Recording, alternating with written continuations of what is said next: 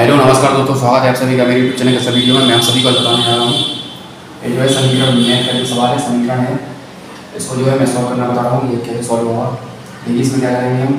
Cross cross multiply कर देंगे इसमें तो यहाँ पर नाइन आ जाएगा। तो जाएगा नाइन नाइन को गुणा करेंगे इसमें तो x square minus nine nine का जो है मल्टीप्लाई करेंगे नाइन यहाँ पर आ जाएगा। क्रॉस मल्टीप्लाई करेंगे। यहाँ पर जो है माइनस फाइव आ जाएगा माइनस फाइव मल्टीप्लाई इसमें जो है ग्राउंड आएगा इसका फाइव प्लस एक्स स्क्वायर तो मल्टीप्लाई करेंगे इसमें अंदर माइनस का पच्चीस हो जाएगा ये.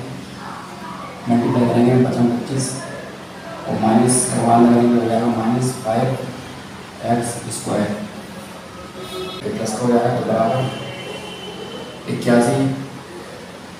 यहाँ पर जो है, यहाँ पर जाएगा प्लस का हो जाएगा. इक्यासी माइनस पच्चीस। तो जाएगा चौदह एक्स स्क्वायर बराबर। ये घटा घटाएँगे तो क्या हो जाएगा? तो ग्यारह से पाँच छः। एक हासिल करें ग्यारह में से पाँच का छः। यहाँ सात सात में से दो है पाँच छप्पन। तो चौदह से छप्पन काटेंगे हम। एक्स स्क्वायर बराबर छप्पन।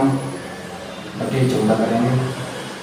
तो चौदह से छप्पन काटेंगे चौदह चौदह छप्पन, चार बार करेगा हो जाएगा एक्स स्क्वायर बराबर फोर तो इसको रहेगा ये ये वर्गमूल हो जाएगा यहाँ पर तो एक्स स्क्वायर एक्स बराबर क्या आ जाएगा रूट फोर का वर्गमूल क्या होता है दो तो एक्स बराबर क्या आएगा इसका मान दो यही हमें निकालना था इसका मान दो दो आया इसका मान हमने क्या करा एक्स स्क्वायर समीकरण दिया हुआ हमें समीकरण दिया हुआ था हमें square minus nine upon five plus x square बराबर माइनस का फाइव अपॉन नाइन तो मल्टीप्लाई करेंगे हम नाइन यहाँ पर चला जाएगा तो nine x square minus nine बराबर माइनस का फाइव गुना फाइव एक्स स्क्वायर का गुणा कर देंगे हम nine nine nine x square minus इक्यासी गुना इक्यासी, बराबर माइनस का पच्चीस माइनस का फाइव एक्स स्क्वायर